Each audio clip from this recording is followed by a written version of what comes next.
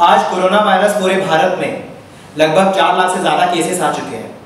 और यही नहीं कि लगभग कोरोना वायरस से काफ़ी सिस्टम ठप पड़ा हुआ है। बिज़नेस ठप पड़े हुए हैं, लेकिन सबसे बड़ा सवाल एजुकेशन सिस्टम पे। एजुकेशन सिस्टम पूरे इन लॉकडाउन में कोरोना वायरस के दौरान, महामारी के दौरान बहुत धीमी गति से चल रहा है। हम ये कह सकते हैं कि नहीं हो पा रहा। है बहुत सारे संस्थान इसको ऑनलाइन स्टडीज़ के माध्यम से स्टूडेंट्स को पढ़ाने की कोशिश की गई है। तो ये कहाँ तक ऑनलाइन स्टडीज़ स्टूडेंट्स के लिए कामगर है कारगर साबित हो रहा है। आइए हम बात करते हैं आज सुनील कुमार श्रीवास्तव से जो आईसेट यूनिवर्सिटी के वाइस चांसलर भी है। नमस्कार सर। स्वागत है आपका हमारे फ्रेम टॉक्स में। जैसे कि अभी सर कोरोना वायरस महामारी पूरे भारत में इनफैक्ट पूरी दुनिया में फैला हुआ है। और सबसे ज़्यादा कमोबेश भारत में सिर्फ़ बत्तीस करोड़ स्टूडेंट से प्रभावित हो चुके हैं। तो सर ऑनलाइन स्टडीज़ ये कहाँ तक स्टूडेंट तक पहुँचाया जा रहा है या फिर ये कैसे आप देखते हैं इस ऑनलाइन स्टडीज़ को आज? देखिए कोरोना वायरस ने कोविड 19 ने हिंदुस्तान को और हम कहेंगे कि सारे विश्व को एक अपॉर्चुनिटी दिया है। जैसे आप देखिए, इसी हिंदुस्तान में पहले हम लोग मोबाइल को कॉलेज में स्कूल में अलाउ नहीं करते थे। आज वो अपॉर्चुनिटी दिया है कोविड नाइन्टीन ने कि हम लोग स्कूल लेवल तक कॉलेज लेवल भी स्कूल लेवल भी और यूनिवर्सिटी लेवल में भी हम लोग ऑनलाइन क्लासेस ले रहे हैं। बात सही है हमारे बच्चे आज के जो पढ़ रहे हैं चाहे स्कूल लेवल में हो चाहे कॉलेज लेवल में हो चाहे यूनिवर्सिटी लेवल में हो वो उतने फेमिलियर नहीं है। जी बिल्कुल। लेकिन उनको डिफिकल्टी हो रही है फिर भी हम देख रहे हैं कि बच्चे पढ़ रहे हैं, सीख रहे हैं ज़ाहिर है कि रफ्तार धीमी होगी। हमारी अपनी बहन भी है, वो टीचर है, वो पढ़ाती है। हमारे घर में छोटे छोटे बच्चे भी हैं, वो भी पढ़ रहे हैं, वो भी ऑनलाइन क्लासेस कर रहे हैं। गति धीमी है, इसमें कोई द्वारा नहीं, लेकिन गति ज़ीरो नहीं है।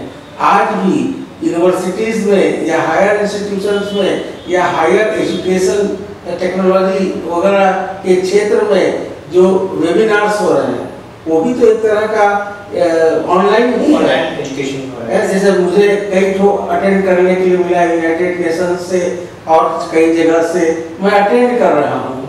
तो उससे भी स्टूडेंट्स के लिए भी अलाउड है टीचर्स के लिए भी अलाउड है।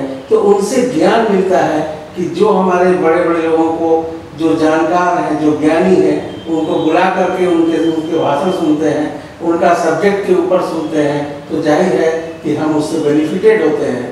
तो ज़ाहिर है कि ये स्लो प्रोसेस है लेकिन चल रहा है। हमारे कोविड नाइन्टीन ने हिंदुस्तान में बहुत सारी अपॉर्चुनिटीज़ दी हैं। अगर आप जानना चाहें जैसे पीपीई बनाना जी। सेल्फ डिपेंडेंट हो गए जैसे आपको मास्क बनाना जैसे आपको छोटी छोटी चीज़ें बनाना ये सब एक अपॉर्चुनिटी है जो हमको मिला है कोविड नाइन्टीन ने दिया है। और एक बात और बता दें मैंने कोविड नाइन्टीन पर एक पेपर भी लिखा है लिख करके प्रिंटिंग छपने के लिए भेजा है रिसर्च पेपर कोविड जैसे आपका फ्लू है जी। जैसे आपका निमोनिया है जैसे आपका और बैक्टीरियल या वायरस है तो उसी तरीके से ये भी है। ये खत्म नहीं होगा ये रहेगा लेकिन जीने की आदत इसके साथ डालनी पड़ेगी। और मेरा अपना विश्वास है कि अगर मैंने पेपर में लिखा भी है कि अगर हम अपने बॉडी को इम्यूनिटी ज़्यादा दें तो निश्चित रूप से हम इससे बच सकेंगे। जैसे हम अपने आप को क्या फॉलो करते हैं? जैसे सुबह शाम काढ़ा पीते हैं। जैसे हम च्यवन प्राश खाते हैं। समझे ना? जैसे विटामिन सी खाते हैं। इम्यूनिटी बूस्टर इम्यूनिटी बूस्टअप करने के लिए अब विटामिन डी जैसे धूप है और अगर हम धूप अवेल करते हैं तो विटामिन डी हमारे बॉडी में जाता है। तो कहने का हमारा मतलब है ये जितनी चीज़ें हैं ऐसी और भी चीज़ें हैं जो हम यूज़ डेली करते हैं तो हम जैसे गोल्डन मिल्क गोल्डन मिल्क क्या है? दूध और हल्दी। हल्दी। एक एंटीबायोटिक है और दूध के साथ मिला करके अगर उसको उबालेंगे उबाल करके हम देंगे तो निश्चित रूप से वो हमारा फ़ायदा करेगा। इस तरह के और भी चीज़ें हैं जो इम्यूनिटी को बढ़ा रही है। जी सर। और अगर हमारा इम्यूनिटी बढ़ गया है तो बॉडी का रेजिस्टेंस पावर बढ़ गया है तो निश्चित रूप से कोरोना हमारे ऊपर अटैक नहीं करेगा। फिर भी हमको prevention is better than cure हमको प्रिकॉशन लेना है हमको मास्क लगाना है हमको सोशल डिस्टेंसिंग करना फॉलो करना है ये करना ही करना है. लेकिन धीरे धीरे अपनी सबसे बड़ा सवाल है कि ड्यूरिंग लॉकडाउन के जो दौरान चीज़ें हुई हैं जो भी एंट्रेंस एग्ज़ाम्स थे डिफरेंट लेवल लेवल से चाहे यूपीएससी हो ए आई ट्रिपल हो मेन्स हो एडवांस हो नेट हो और डिफरेंट चीज़ें के एजुकेशन सिस्टम में वो अभी नहीं हो पा रहे लॉकडाउन के कारण कोरोना वायरस के दौरान. तो क्या ये चीज़ें बाद में, क्योंकि जो अभी सीनियर सेकेंडरी बच्चे हुआ करते हैं, जैसे नाइन्थ के बाद या इलेवेंथ वाले ट्वेल्थ वाले ग्रेजुएशन वाले, उन लोग के एग्ज़ाम्स होने वाले थे फाइनल एग्ज़ाम इनफैक्ट ट्वेल्थ के भी कुछ एग्ज़ाम बाकी अभी भी। तो उन लोग का जो ड्यूरेशन है वो अब लेट हो चुका है। तो आप इसे कैसे देखते हैं? क्योंकि आने वाला टाइम अभी नहीं पता है कि ये कब सामान्य हालात हो जाएँगे हमारे लिए। तो क्या ऑनलाइन एग्ज़ाम लेना सही होगा, या क्या कहते हैं इसके हमारे देखिए, हमने पहले भी कहा कि ऑनलाइन की क्या ज़रूरत है आज के परिस्थिति में? दूसरी चीज़, हम अननेसेसरली सेशन को डिले नहीं कर सकते। मेरा अपना मानना है, हम सेशन को अननेसेसरली डिले नहीं कर सकते। जैसे हमारे आई यूनिवर्सिटी में प्री यूनिवर्सिटी टेस्ट हो रहा है और वो ऑनलाइन हो रहा है। इससे हमको पता चलेगा कि जो हमारे बच्चे हैं, उनकी क्षमता कितनी है। इस संदर्भ में बहुत इम्पोर्टेंट बात आपको बता रहे हैं। कि ऑनलाइन परीक्षा आज के डेट में हम जो क्वेश्चंस हैं, वो ऑब्जेक्टिव टाइप की दे सकते हैं। तभी उसका आंसर होगा।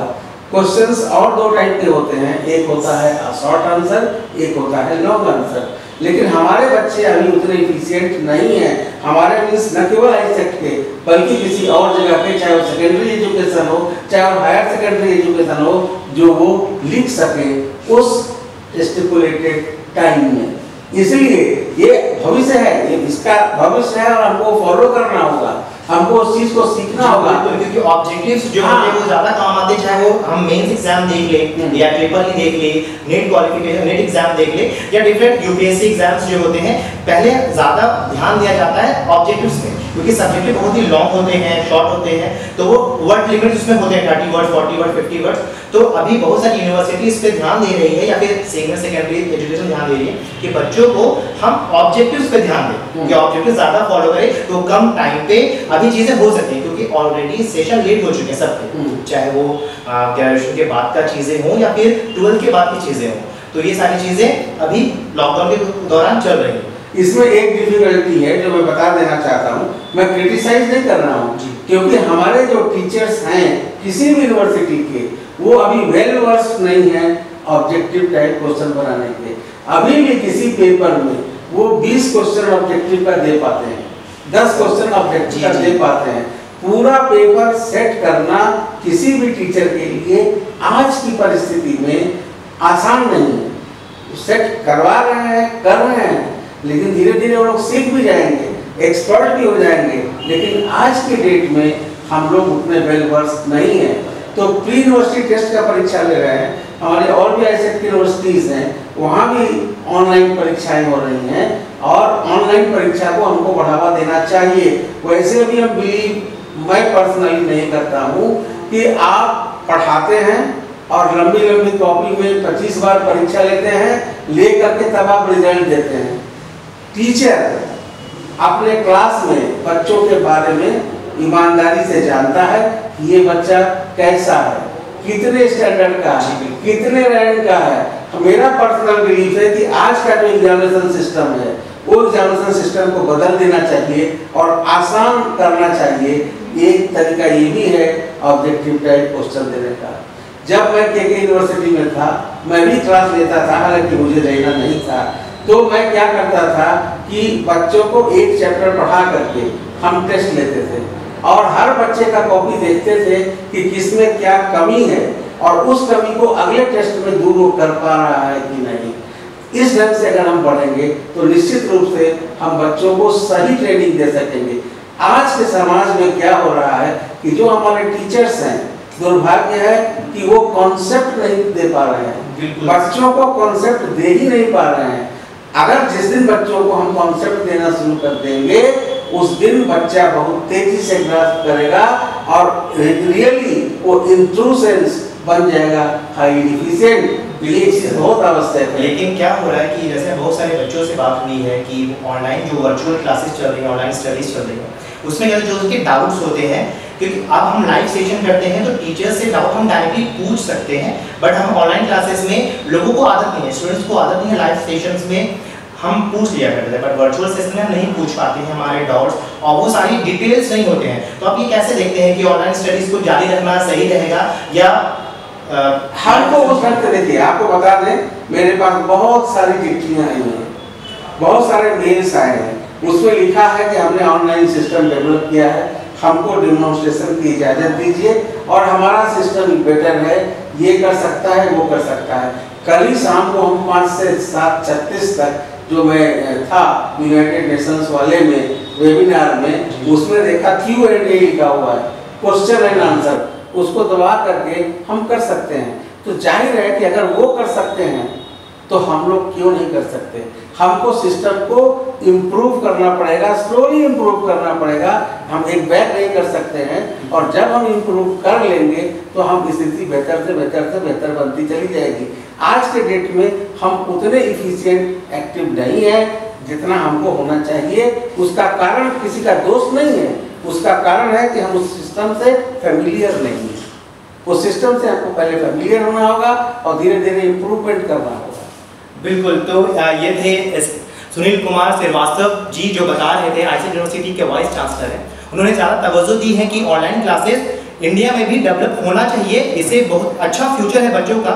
और इससे क्या होता है कि ऑब्जेक्टिव्स पे टीचर्स को ज़्यादा ध्यान देना चाहिए। ऑब्जेक्टिव्स क्वेश्चंस जो होते हैं one mark question two mark question होते हैं वो इजीली हैंडल हो सकते हैं और उससे कॉन्सेप्ट जनरेट होता है। तो बहुत अच्छी बात कही है इन्होंने कि कॉन्सेप्ट पे बच्चे काम करें टीचर्स भी काम करें उसी हिसाब से वो स्टडी को आगे बढ़ाएँ। तो ये थे अ, आज के टॉपिक हमारा एजुकेशन सिस्टम कोरोना वायरस पे। इसी तरह के वीडियोस और भी देखेंगे हम लोग। मिलते हैं नेक्स्ट वीडियो में।